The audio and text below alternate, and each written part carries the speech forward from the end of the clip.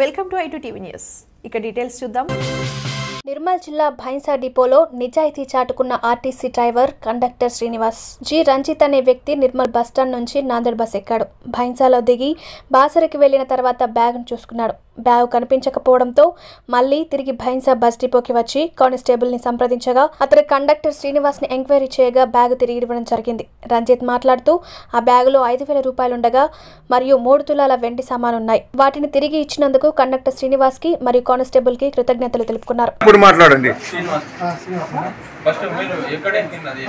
నా పేరు జి రంజిత్. నేను నిర్మల్లో నాందేడ్ బస్సు. నాందేడ్ బస్సు ఎక్కాను. నేను బాసర వెళ్ళడానికి. బైన్సాలో దిగి వెళ్ళిపోయాను. బ్యాగ్ మర్చిపోయాను. బ్యాగ్ మర్చిపోయి నేను బాసర వెళ్ళిపోయిన తర్వాత బ్యాగ్ గుర్తొచ్చింది. తిరిగి బైన్సా డిపోకు సంప్రదించిన కానిస్టేబుల్ శ్రీనివాస్ గారిని సంప్రదించిన. ఇలా బ్యాగ్ మిస్ అయింది. దాంట్లో ఐదు వేల రూపాయలు విలువ వెండి సామాన్లు ఉన్నాయని ఎలాగంటే ఈయన వెంటనే చర్య తీసుకొని టైమింగ్స్ తెలుసుకొని నా దగ్గర టికెట్ నా- ఎలాంటిది లేదు.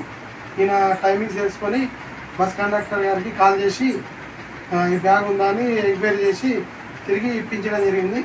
అందుకు శ్రీనివాస్ కండక్టర్ శ్రీనివాస్ గారికి కానిస్టేబుల్ గారికి ధన్యవాదాలు తెలుపుతున్నా. నా ఇలా వెండి సామాన్లు డబ్బులు అన్నీ అన్నీ ఉన్నాయి.